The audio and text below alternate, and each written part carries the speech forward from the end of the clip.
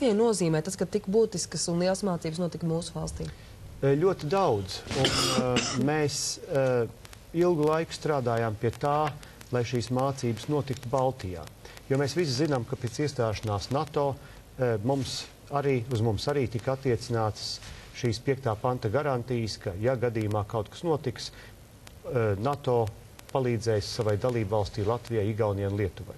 Bet pateikt ir viens, un īstenot ir cits. Un ir ļoti grūti kaut ko īstenot, ja mums nav bijuši konkrēti treniņi, konkrētas nodarbības. Un šīs ir pirmās nodarbības, kur mēs pirmoreiz redzējām, kādā veidā apmēram pārējās mūsu kluba dalību valsts spētu mums palīdzēt, ja, teiksim tā, nedod Dievs, kaut kas ar mūsu valsti notikt un kaut kas mūs apdraudētu.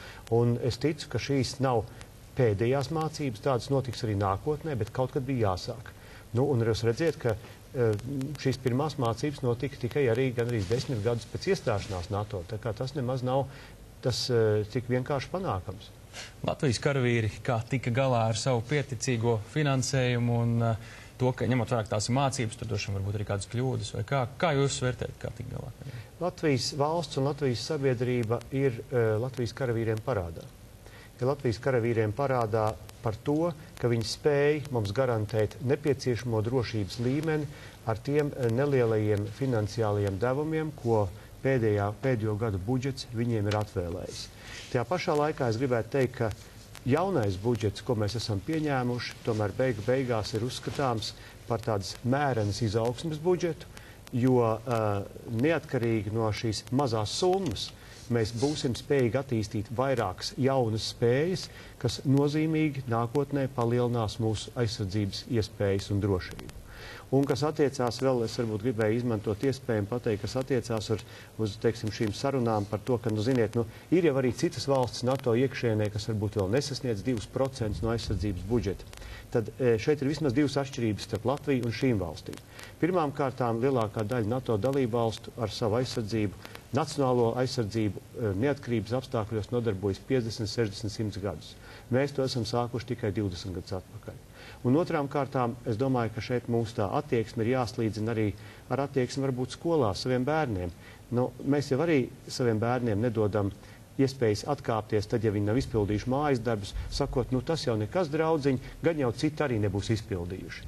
Mums nav svarīgi, vai citi izpilda šos 2% vai nē, bet mums ir svarīgi, ka mēs to darām.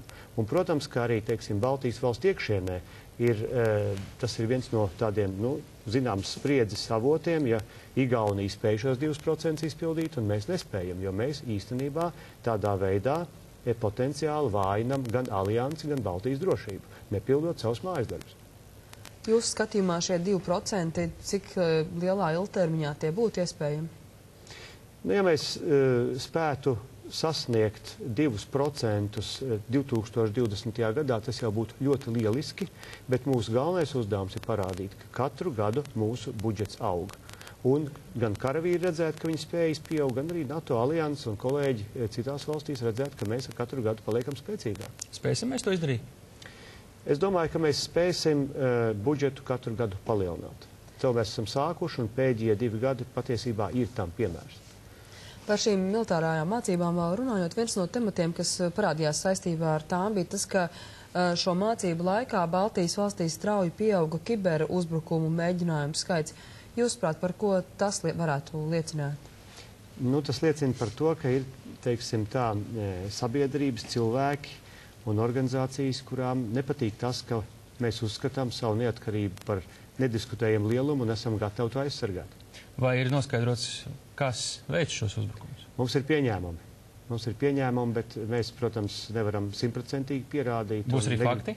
Negribam arī publiski par to daudz runāt, bet tas ir balstīts uz faktiem, tas nav balstīts tikai uz domām.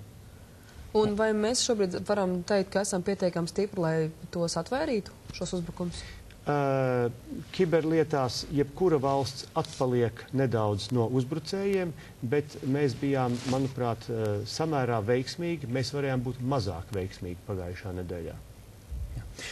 Par citām aktualitātēm valsts prezidents saimēja otrreizējai caurlokošanai ir nodevis grozījumus imigrācijas likumā. Tie paredz kvotas attiecībā uz uzturēšanās atļaujām. Un jūs esat izteicies, ka uzturēšanās atļauju piešķiršana būtu jāizvērtē no drošības viedokļa. Un kādi ierobežojumi jūsu skatījumā būtu vajadzīgi šajā jomā? Es domāju, ka šī diskusija jau ir tik tālu aizgājusi, ka prezidentam, protams, bija tādas tiesības šo likumu atgriezt. Es domāju, ka parlaments uh, arī pievērsīs pietiekamu uzmanību tam, ko vēl šeit var pilnveidot. Uh, manā izpratnē pats galvenais ir, lai, ja mēs piešķiram šādu veidu uzturēšanās atļaujas, lai tās nebūtu vērstas tikai viens valsts virzienā un lai tās nestu maksimālu labumu visai sabiedrībai. Tas ir galvenais uzstādījums. Pilsonības piešķiršana par īpašiem nopelniem. Jūs arī esat izteicies, ka pilsonības piešķiršana Krievijas opozīcijas līderim bijušajam pasaules šaha čempionam Gariem Kaspārovam Latvijai varētu būt uh, ieguvums. Šobrīd vai jūs arī jūtat atbalstu politiskās aprindās šādam viedoklim? Es teiktu tā, e, šis lēmums arī, protams, ir e, suverēna parlamenta saimnes lēmums. Tajā pašā laikā Garijs Kaspārovs ir gan viens no pazīstamākajiem Eh, demokrātijas un cilvēktiesību aizstāvjiem Krievijā, un viņš ir viens no ģeniālākiem šas, šahistiem pasaulē. No šāda viedokļa skatoties, es domāju, ka eh, Kaspārovs būtu ļoti labs tāds e, pulēšanas līdzeklis Latvijas starptautiskajam tēlam, jo e, iegūstot Latvijas pilsonību, nenoliedzami iegūt arī Latvijas atpazīstamību. Bet es nekad neesmu teicis, ka e, tas ir jāiedod šim pilsonim, um, kā speciāli nopelni, jo mēs zinām, ka mums ir bijuši 180 pāri cilvēki, dažādi, kuriem par dažādiem nopelniem vai nenopelniem ir šī pilsonība iedot. Es domāju, ka tas ir pirmām kārtām politiskās gribas jautājums parlamentā. Ja parlamentā Latvijā būs politiskā griba, un izpratni par to, eh, ka mēs tādā veidā varam veicināt Latvijas atpazīstamību, Latvijas eh, noturību, Latvijas tēlu pasaulē, tad šo lēmumu var pieņemt, var atrast veidu, kā to izdarīt. Ja šī politiskā griba nebūs, tad uh, droši vien, ka kas pāraukungs eventuāli atradīs kādu citu valstu.